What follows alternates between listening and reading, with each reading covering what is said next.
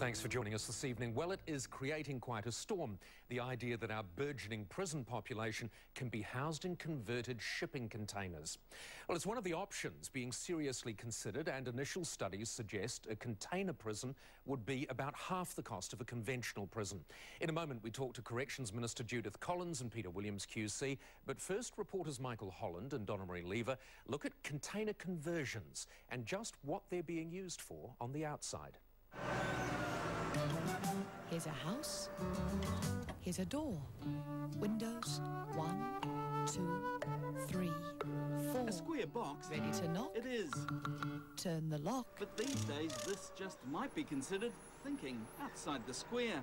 So I'm just a run-of-the-mill prisoner, not overly dangerous. Yeah. Am I going to be snug in here? Yeah, of course. It's insulated and you've got power, so they can have heaters if they need to. Could you see yourself in here? I work in one. Yeah. If I can work in one, a prisoner can sleep in one. You've got all that space. What's the size of a normal prison cell? Not this. I wouldn't know. what are you saying, we should put six or seven in here? no, but I mean, does this not feel spacious? If you're a prisoner, to me, I think, as long as you're warm, you're dry, you're safe, prison's prison. Have you got something a little fancier? I'm a white-collar prisoner, so I'm used to the finer things in life. Yes, come with me. I was looking for minimum security. This feels like maximum security. well, it kind of is maximum security. This is what I would call a self-contained prison unit. With a sliding door. Come on through. So this is not the whole container, but you can see you've got room for running water, a bench. I've got my fridge in here. This table, I think you'd fit a single bed there easily. I don't think prisoners get double beds. And in here is the water supply. Yep, water supply and extra storage. Rainwater filters off the roof, comes through a filter, gathers in the tank, runs through the pipes either my kitchen tap or a hand basin in the bathroom next door. Separate door, of course, where you have space for one person, obviously. You've got a toilet and a bit of water to wash your hands, and a window if needed for air. And this would be big enough to put a shower in? It would be. So in the last end of the container, you still have room. This could be a shower. I've taken up half of that space. Or storage, like we've used it for storage. And the prisoner's skis just go in the corner there nicely. or maybe this could be solitary confinement. Could be. This could be the hole. And this is where you work? Yeah, sure Yeah. is. Are you happy in here? I'm very happy in here. So you don't feel the world has ended because you're working in a small space It doesn't this? even feel like I work in a container. Not until someone new comes along and points it out. How much for something like this? Roughly around 10,000 New Zealand dollars. And my choice of colour? Your choice of colour. Choice of carpet? You can choose whatever you like, pretty much. As long as it's secure and locks up end of the day, that's what it's there for. We can keep you locked in. Go on, try and get out.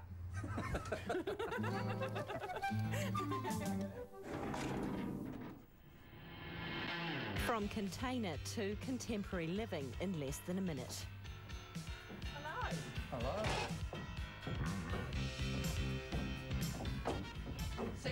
right into the bathroom then?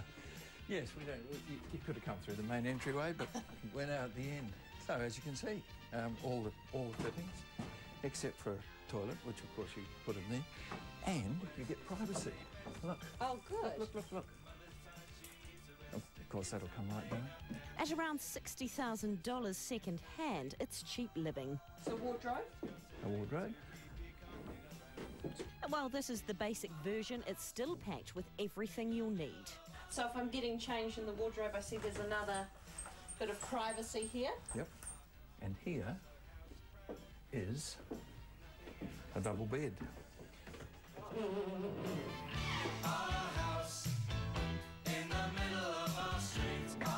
Bend your back.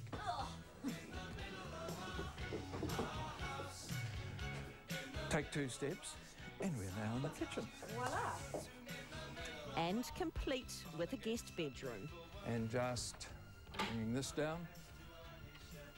About there. The other one comes down to meet it. Oh, I'm going to get stuck in the middle. Yes, we will. All right, and that just sits on there. Put a mattress over the top. And that's, That's the about other bed. Cover it with a tent and it takes four more guests in the West Wing. Does it feel a little bit like a cell to you? Absolutely not. you're, yes, you're putting this idea into my head. I could imagine it as a secure room, but mm, not a cell. Ted's friends who own it asked to store it on his land for a few years. We don't own it. We don't have much um, interest in it, other than we would. I think it's a cool idea. But not cool enough to stay in it yourself. I don't need to. I have a house. But the concept is far from new. Containers make up student housing in Amsterdam, apartments and offices in London, and top end properties around the world and here.